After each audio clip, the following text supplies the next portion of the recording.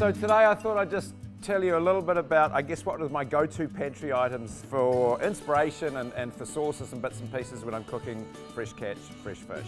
There's nothing really complicated here, but it's just things to have on board that you can grab and go and make something very, very quickly. First of all, I have some really good salt, really good flaky sea salt. I use Marlborough sea salt.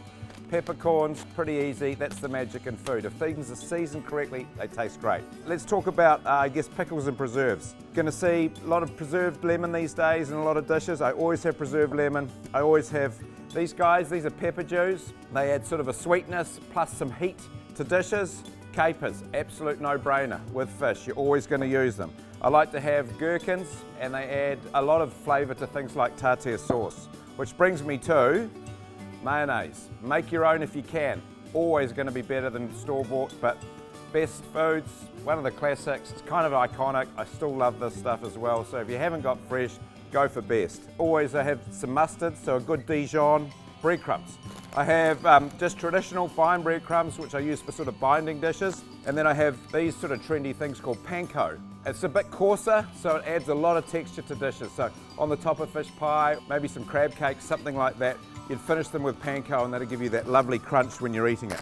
I always have some tempura flour on board. Very, very simple to make a very, very light, quick batter. Let's head to Asia. Okay, of course we're gonna have some soy sauce. We're gonna have some wasabi and we're gonna have pickled ginger right here. That's your sashimi taken care of. I like to have a little bit of sesame oil hanging around. I always have some fish sauce as well for those sort of Thai dishes or Vietnamese dishes. Goes really, really well. And then I've got some tamarind. And tamarind paste is just another ingredient I really love. Basically a, a, sour ingredient which just adds this beautiful layer of depth to any dish. Let's talk oils. When I cook fish, I usually use, or nearly always use, a neutral oil. Canola is my go-to. Simple, flavourless oil for cooking fish because fish is delicate. So I don't use a big olive oil or anything like that because I find that overpowers the fish. Of course, you're going to have some great uh, olive oil, some extra virgin on board, and then, of course, I love um, infused oils. I make my own. This lemon and fennel one, a little bit of plug for me, um, but it's bloody good with fish. You'd love that. Just a drizzle over the end, really, really simple.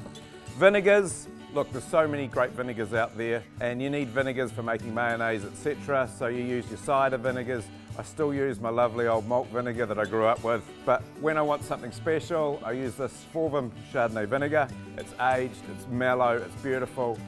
Fresh clams, fresh oysters, love this vinegar. Of course I've got coconut cream, I always have coconut cream. Uh, I've got some kingfish, I've got some kahawai, I've got some trevally, coconut milk, some lime juice, some chili, some coriander, and you've got an absolutely wonderful kokoda or, you know, similar dish to that.